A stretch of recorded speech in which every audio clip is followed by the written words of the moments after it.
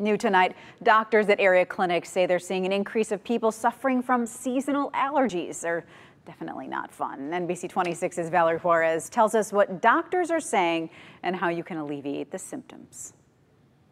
It's officially allergy season, and as the weather warms up and the winds pick up, that pollen in the air will soon have you ready to scratch your eyes out. So after having a quiet winter when there really aren't a lot of allergens around, you know, the sudden increase in the tree pollen makes people take notice. Dr. Karen Kahns with Allergy and Asthma Associates in Appleton says she's been having a lot more people come into her office and complain about allergies. After a long winter, she says this is the time that trees are pollinating and therefore inducing your seasonal allergies. And then the next wave of pollens to pollinate would be grass in the summer and then ragweed and weeds in the late summer and early fall.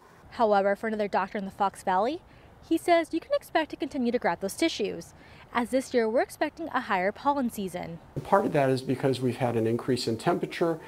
There's more climate changes, there's more wind. When we have more wind, then we have more pollen, and those are days that you need to be a little more cautious with your allergies. For relief, doctors recommend being ahead of the game and say that if you know that you tend to get bad seasonal allergies, take antihistamine tablets.